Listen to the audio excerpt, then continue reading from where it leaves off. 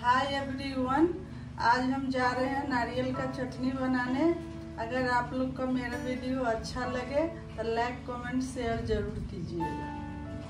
चलिए स्टार्ट करते हैं नारियल का चटनी बनाने। उसके लिए हम हरी मिर्च लिए हैं। उसके बाद ये नारियल है, ये लहसुन का पेस्ट है, दो दो चम्मच। ये बादाम है, ये भूंज के हम छिलका हटा लिए हैं। ये नमक है। अब हम इसमें पानी डाल के पीसेंगे। अब हम ढक्कन लगा दे रहे हैं।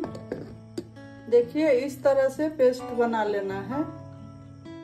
छौंकने के लिए जा रहे हैं चटनी। अब ये तेल गरम हो गया है। अब इसमें हम राई डाल रहे हैं। हम इसमें मिर्चा डालेंगे।